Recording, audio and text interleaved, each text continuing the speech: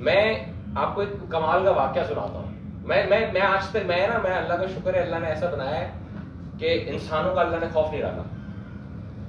सही है? अल्लाह ने बड़ा ये कर्म किया हमारे ऊपर कि हम इंसानों से नहीं डरते हम अल्लाह से डरते सही? क्योंकि हमें एक चीज़ पे ईमान है कि इज़्ज़त, जिल्लत दोनों अल्लाह के हाथ में और जब तक अल्लाह ना चाहे, कोई आपको नुकसान नहीं बना सकता। अब हुआ ये कि एक कस्टमर ने कोई कंप्लेन कर दी होगी, किसी दोस्त यार को बोला उसने? अब अचानक से मेरा एक लड़का मुझे फ़ोन करता है राइडर उसने मुझे फ़ोन किया राइडर ने मैंने उठाया सुबह सवेरे। ये दो महीने पुरानी बात है। कह रहे, सर, मीजान बैंक में हूँ अकाउंट डेबिट लॉक हो गया। बोला डेबिट लॉक कैसे हो क्या हुआ? क्या कोई केस का बाड़ा कुछ नहीं चल रहा है डेबिट लॉक कैसे हो गया? तो प्राइवेट लिमिटेड कंपनी है मेरी। ऐसे तो होता भी नहीं, कुछ सारी कंप्लायंस पूरी होती है। मेरी कंपनी सौ परसेंट टैक्स देती है। मैं ईओबीआई वीओबीआई सारी चीज़ें देता हूँ, पूरी। मतलब मेरे यहाँ पे जो भी बना रहा है, उसका भी ईओबीआई भर रहा हूँ मैं। हम इस तरह के और वो भी अपनी जेब से भरते हैं, उनकी जेब से नहीं भरते कि पार्शल वो दे दे। हम ऐसे हैं कि हमारी कंप्लायंस इतनी स्ट्रांग है। मुझे बोला डेबिट लॉक हो गया? मैंने बोला ब्रांच मैनेजर के पास मेरी बात कराओ। उससे मैंने बात की, कह रहे, सर एफआईए साइबर क्राइम है। उसने ईमेल की है और बोला डेबिट लॉक लगा बोला ईमेल का स्नैपशॉट मुझे चाहिए, नहीं दे सकते पिक्चर ये दो फ़ोन से मुझे भी दे दो। उसने मुझे दिया, उसमें उसका नाम नंबर सारी चीज़ें मौजूद थी। ये दिन था जुम्मे का मैं आधे से ज़्यादा लॉयर सही मैं काला कोट इत्तेफाक से पहन के गया मैं मैं पूरा लॉयर हूँ, मैं सारे लीगल ड्राफ्ट खुद लिखता हूँ। इतने देख लिए केस के बारे तो हम कर लेते हैं। मैंने उसको अर्जेंट पहले उसको कॉल की, उस बंदे ने फ़ोन नहीं उठाया। कोई रफ नवाज़ मैंने उसको फ़ोन किया, उससे नहीं उठाया। सही है? फिर मैंने उसका पूरा एक राइटअप बना के ड्राफ्ट बना के 12 बजे सुबह मैंने कोरियर बुलाकर उसको शिप कर दिया। मुझे पता है कि उसको मिलेगा मंडे को। और मुझे ये भी पता है, अगले तीन दिन मेरा अकाउंट बंद है फ्रीज है डेबिट लॉक है। उस अकाउंट में पाँच मिलियन थे, पड़े सही है?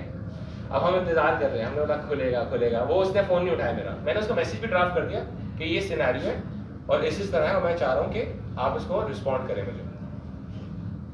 अब मंडे को मैंने उसको सुबह वापस कॉल की सही है? अब उसने बोला था डेबिट लॉक लगा दो। जो जो डिटेल्स हैं ओनर की, वो भेज दो हमें और फाइनल जो बैंक स्टेटमेंट है, वो भेज दो। मैंने ब्रांच मैनेजर को भेजा बोला सब भेज दो, क्या टेंशन है? मुझे क्या टेंशन है? मेरे तो सब डिक्लेयर्ड है। मंडे को मैंने उसको सुबह दस बजे फ़ोन किया। बंदे ने उठा लिया। मैंने घर में भी नहीं बताया, मेरे फादर को या किसी को खा मखा में कोई क्यों टेंशन ले? बोला, यार, देख लेंगे इसको मैंने उसको सुबह मंडे को फ़ोन किया। तो वो कह रहा है जी सर, कैसे खैरियत से मिला आपको मैंने मैसेज किया था और आपको मेरा रिटर्न जवाब भी मिल ही गया होगा। तो कह रहे, जी जी, बिल्कुल मिल गया था। तो मैंने इशू क्या है? कह रहे सर, वो एक किसी कस्टमर ने बोला फाइनेंशियल फ्रॉड में है तो उसके कोई रिफंड है। और इसलिए हमने अकाउंट ब्लॉक कर दिया। मतलब मैं आपको एक चीज़ बताता हूँ कमाल की। कह रहे, क्या? मतलब देखिए एफ़ का जो कानून है ना, मैं आपको वो बताता हूँ। एफ़ का कानून ये कि if someone comes to you if और वो कहते हैं, यार, ये मेरा इशू है। तो पहली चीज़ तो वेरिफिकेशन होती है। आप उससे अंडरटेकिंग में लेते हैं सारी चीज़ें कि वाकई तुम सही कह रहे हो। तो बोलते हैं ओके तो आप पहली चीज़ मुझे नोटिस करेंगे। मुझे आप नोटिस भेजेंगे। आप कम अज कम आठ से दस नोटिस मुझे भेजेंगे। सही? जिसमें आप मुझे आगे एक एक हफ़्ते का टाइम फ्रेम दे रहे होंगे कि यार आप रिस्पॉन्ड करें। इफ़ इन केस मैं रिस्पॉन्ड नहीं कर रहा आठ दस नोटिस के बाद, दो तीन महीने का टाइम आप ट्रैक करेंगे, उसके बाद आप वन साइडेड कार्रवाई कर सकते हैं, जिसमें आप क्या करेंगे, आप मेरे बैंक अकाउंट पे ये अमाउंट डिडक्ट कर सकते हैं। तो मैंने बोला ये मुझे सिर्फ़ सिनेरियो समझाते हैं मुझे बस इतना समझना है इतने बड़े कानून को स्किप करके आपने डायरेक्ट मेरा अकाउंट फ्रीज किया है तो ये कौन सा आपका दोस्त है जिसने आपको ये बात कही है? मेरी टोन लिटरली यही मतलब कौन सा आपका दोस्त है जिसने आपको बोला था कि ये कर दो और ईमेल करते हैं और हम उनको छेड़ देते हैं और डेबिट लॉक लगा देते हैं? मतलब मैं तो आपके हाई को लिखने वाला हूँ आज। ये तो अच्छा हुआ आपने मेरा फ़ोन उठा लिया वरना तो आपके हाई को लिख रहा था। और मैंने उसको चार नाम भी गिना जान कुछ मतलब मैं तो इन सारे लोगों के लिए आज मेरे ड्राफ्ट रेडी थे, मैं तो इसी तरह हूँ भाई। मैं थोड़ी इंतज़ार करूँगा। मतलब आपका दस मिनट है अगर आप मेरा अकाउंट खोल सकते हैं तो खोल दें। अगर आप नहीं खोलेंगे तो मैं इंशाल्लाह पूरी कार्रवाई करूँगा। आपने ऐसा धरती पे शख्स नहीं देखा होगा जो आपसे इतना लड़ेगा। वो दस मिनट के अंदर उसने, पाँच मिनट के अंदर, दस भी पूरे नहीं लगा। पाँच मिनट में उसने बैंक को ईमेल अब आप कानून सोचें। पूरा कानून स्किप होता है। एक बंदा जिसका दिल हुआ, वो गया, दोस्त के पास बोला, यार मुझे कर देना रोक देना पाँच मिलियन का अकाउंट बोल मैं कह रहे यार, वो, आप फाइनेंशियल फ्रॉड में उसने बोला, मेरे दो लाख रुपए का रिफंड है। सही है, उसने ऑर्डर किया, मैंने कब उसने रिफंड चलाया? कह रहे, एक हफ़्ता हुआ है। तो मैंने बोला मैं आठ से दस दिन तो वर्किंग है, मेरी वेबसाइट पे जाके देखो। मतलब ये किसी के कहने पे आप भरोसा करते हैं? तो उसने बाद बार साफ़ मतलब बाजवा साहब का फ्रंट मैन हूँ, मैं हवाले का काम करता हूँ उनके लिए। जाओ, बाजवा साहब को पकड़ ले, जाओ। उनके अकाउंट भी बंद कर दो। मैंने कहा, है ना आपको? बोले, यार, ये कौन सी साइंस है? किसी के कहने पे ये कौन सी वो है, पाकिस्तान में? तो उस टाइम में पहली दफ़ा ज़िंदगी में डिसाइड हुआ कि मतलब एक तो एफ़ आई साइबर क्राइम जिसकी वैसी कोई वैल्यू नहीं होगी। उसके बाद साइबर क्राइम भी गुजरा वाला जिसकी और कोई वैल्यू नहीं होगी और गुजरा वाला में एक बिल्कुल बेसिक तरीन इंसान, उसकी एक ईमेल पे बैंक मेरा अकाउंट फ्रीज कर देता है।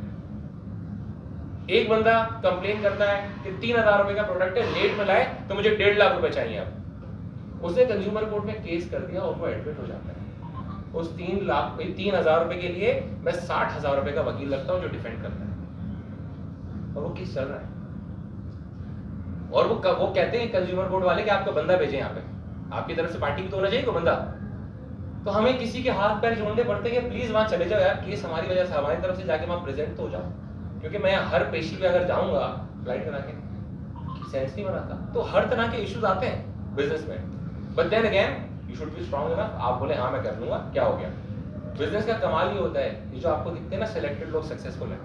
मुझे लोग कहते हैं, यार, ये धंधा नहीं करना चाहिए था आपको। जिस धंधे में हो ना सी और जितनी आप गंदे में पड़े हुए हो, पूरा दिन, सुबह, दोपहर, शाम, रात, बाल तो उड़ गए सही है, नींदें भी उड़ जाती होंगी। तो मैं कहता हूँ, तीन साल के बाद जो ना, इंसान, इन सारी चीज़ों से ऊपर निकल जाता है। आप भूल जाते हैं चीज़ें। और हमें लोग कहते हैं कि, यार, आपकी कंप्लेन आई थी वॉइस ऑफ़ कस्टमर पे हमने देखा, महीने की दो तीन कंप्लेन है। मैं कहता हूँ, कितना हज़ार ऑर्डर में फुलफिल करता हूँ दो तीन कंप्लेन क्या होती है? और फिर जब हम, मैं कहता हूँ बिज़नेस का एक उसूल जो मेरा, हमारा बना हुआ है वो इस्लामिक प्रिंसिपल है, सही मेरी फैमिली अल्लाह का शुक्र है काफ़ी रिलीजियस सही है। मेरी वालदा आलमा है, सही है। अपना मदरसा भी चलाती है और सब चैरिटी